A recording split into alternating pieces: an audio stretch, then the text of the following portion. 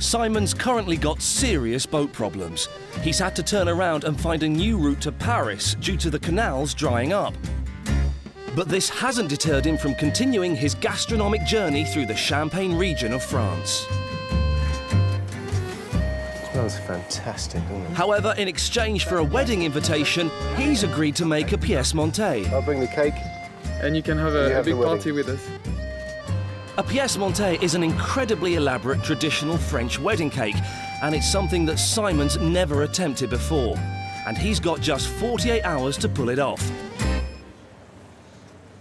To help him in his mission, Simon has come to a celebrated patisserie in Epernay. Bonjour. Bonjour, hello. Monsieur Dallet. Monsieur Dallet is reputed to be the chocolatier enfant terrible of Champagne, and he's agreed to help Simon.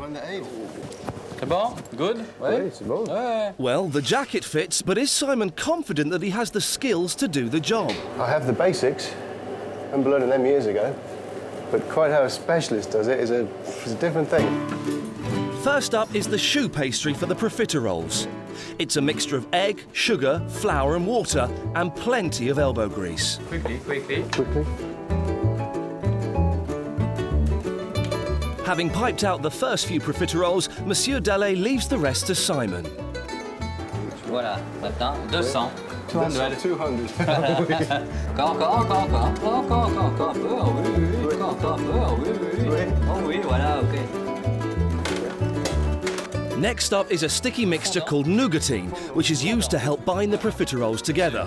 It's basically made of sugar, sugar, sugar, and more sugar. Pure glucose sugar. Then it's the creme patisserie, a custard-like mixture that forms the filling for the profiteroles.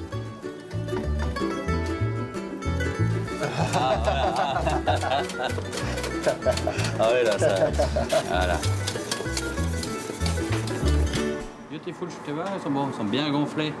Hein, voilà. Uh, that's the one you did. Voilà, encore 10 minutes, encore, hein, 10 minutes.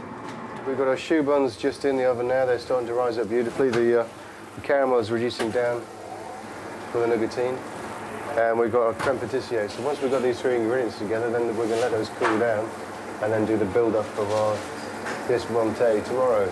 With the clock ticking, has Simon done enough to impress Monsieur Dallet? Il travaille bien, il a, il a la touche du, du cuisinier, il a la touche du pâtissier, non, non, bien. Il n'y a pas de faute, c'est bien. Il observe aussi, Ah, c'est très très bien. Voilà. Et one, two. All that remains is for Simon to prepare the thick treacle base so that it can harden overnight. Tomorrow, he'll have to erect the tower. Ouais, voilà, c'est ça, voilà. That's it. You think I've earned it? Blown away. Those skills are um, precious for me to see them, to learn them. Fantastic. I mean, it, it's given me the confidence to walk into that wedding tomorrow with that cake, because I didn't have that, I must say, when I started this morning. Um, what a fantastic day.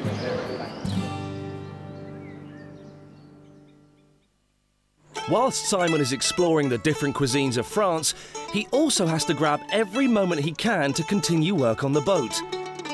He has to design and install a kitchen to cook the food in what will be his floating restaurant when he reaches Paris. He's also managed to recruit some cheap labour. John is still travelling with Simon, but he's also found a French carpenter who's willing to help for free. What's going on is I've, I've kidnapped him and I've conscripted him Because I'm cheap. because he's very cheap.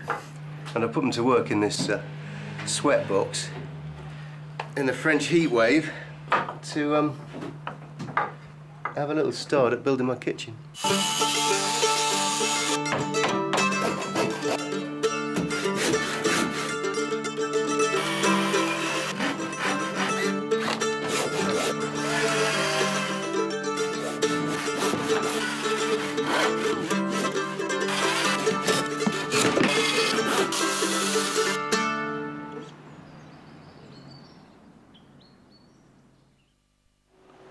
It's the day of the wedding, and Simon's already worried.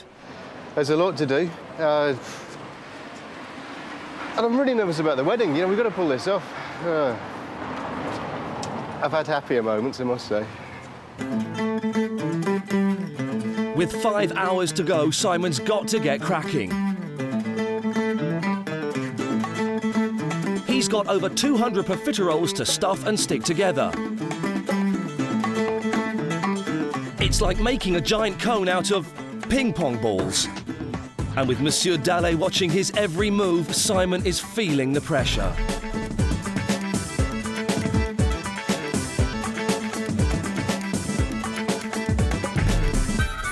Le dernier, hop, Ah oui. pour la surprise. Oui, surprise. Pour la surprise.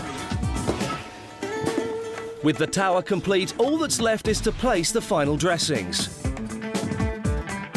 After two days, and with the help of Monsieur Dallet, Simon has managed to pull it off.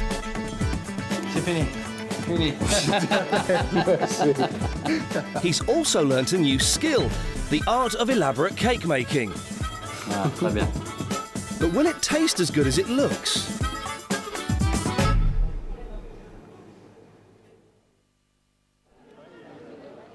It's 5 pm and Simon's managed to rush down from Monsieur Dallet to see the bride and groom officially married.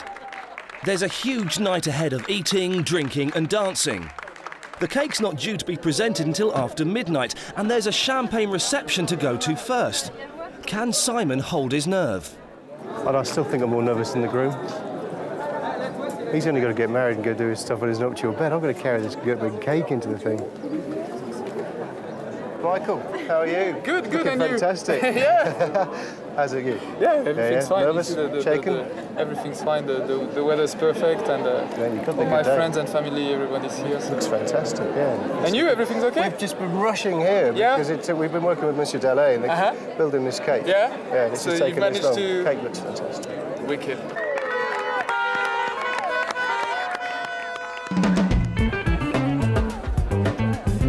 As the reception gets underway, Simon has the chance to experience French high society. And 500 bottles of vintage champagne have been put on ice.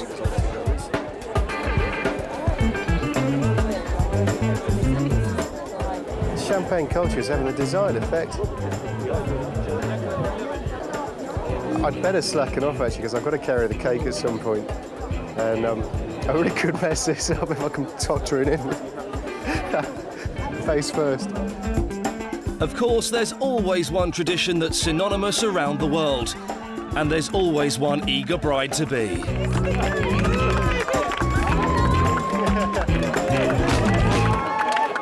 Thankfully, when Monsieur Dallet arrives with the cake, Simon is still able to give him a hand.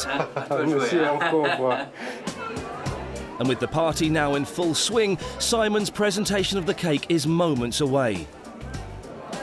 All he has to do is find someone to help him carry it in. As the guests make their way into the presentation room, finally his moment comes.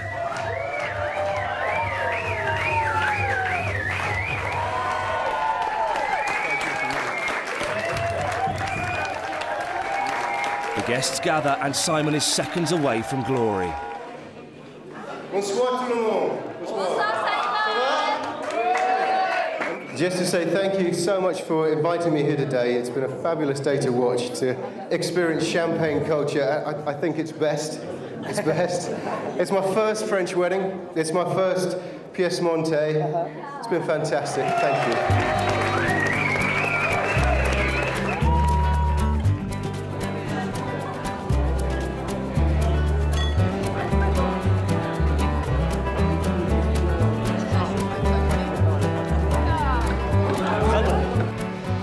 Week in Champagne country, it's uh, it's been mind blowing. The people, the um, the caves of Champagne, the, the celebration. It's been fantastic. I'm blown away. Um, that was a pressure shot.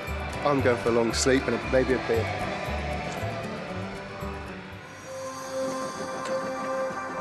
Next time on Floating Kitchen, Simon's in Burgundy, coming to terms with pulling the trigger on the produce that we take for granted.